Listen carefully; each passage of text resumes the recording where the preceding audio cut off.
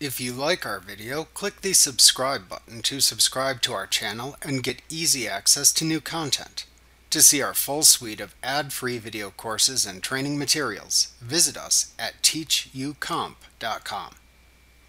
You can easily refund a customer's purchase if they return merchandise by creating a credit memo and then issuing a refund check. To do this, first create a credit memo for the return.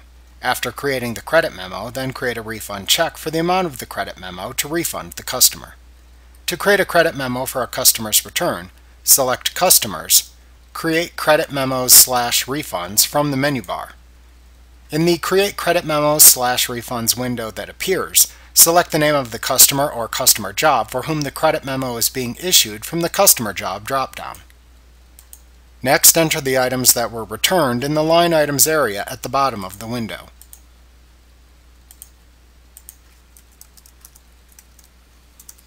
Then click the Use Credit to Give Refund button in the Main tab of the ribbon at the top of the window to issue a refund check for the amount of the credit memo.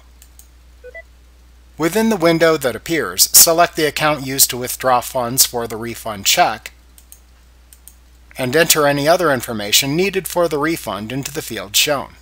Then click the OK button to continue. Finally, ensure you save and print the refund check as well as the credit memo to give to the customer. Remember to click the subscribe button to see more of our videos. Get ad-free courses at teachucomp.com.